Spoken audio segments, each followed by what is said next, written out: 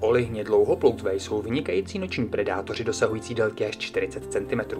Setkat se s nimi můžete přímo u pobřeží nebo v hloubce až do 100 metrů, a to v lagunách, na místech s porosty mořské trávy a nad vnějšími útesy.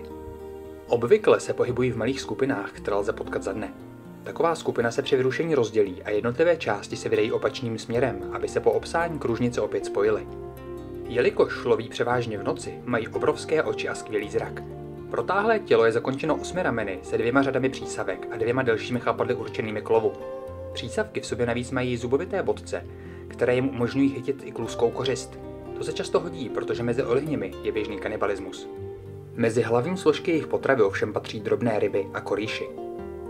Olihně jsou obvykle velice obezřetné a plaché, ale po setmění je můžete přilákat pomocí světla a doslova je paralizovat svícením do očí, což vám umožní přiblížit se do bezprostřední blízkosti, kde si užijete barevnou podívanou. Stejně jako ostatní hlavonožci dokáží olihně dlouhoploutvé měnit barvu pomocí chromatoforů. Taková změna barvy, stejně jako pozice ramen, má svůj sociální smysl.